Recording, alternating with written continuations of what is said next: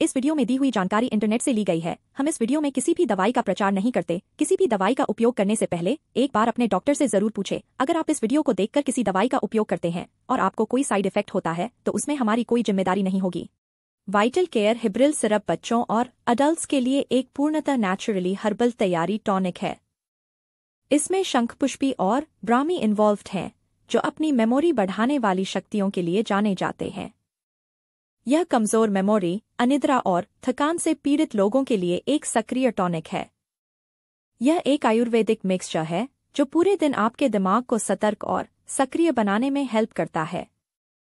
यह घबराहट और चिंता को रोकने में हेल्प करता है।